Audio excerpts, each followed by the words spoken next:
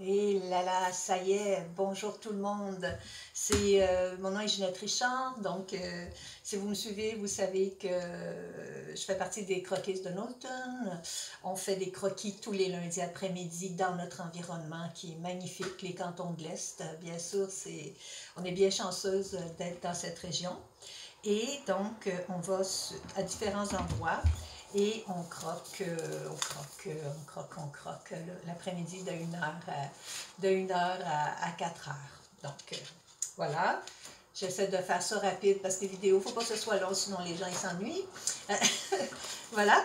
Et ce que je voulais vous dire, c'est que hier, je suis allée me faire un beau cadeau chez Omer de Serre. un petit boîtier ici, vous voyez, c'est super léger. Ça se met dans, ça se met dans notre sacoche très très léger. Et dans ce petit boîtier, qu'est-ce que j'ai? Ah, j'ai, oups, ça c'est euh, mon, mon nuancier.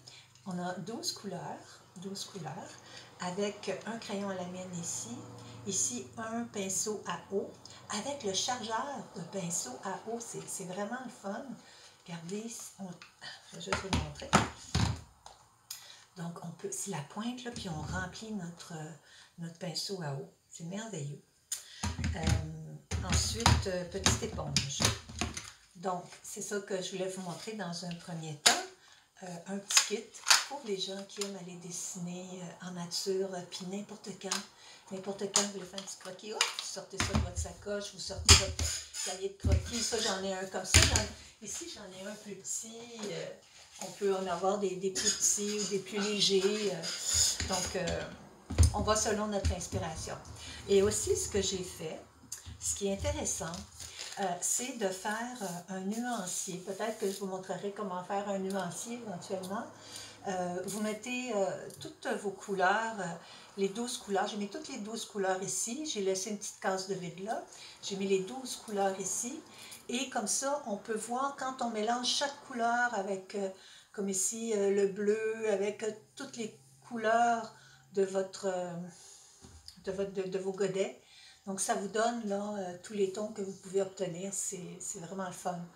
Euh, parce que c'est sûr que après aller chercher des couleurs plus riches, la couleur exactement que vous voulez.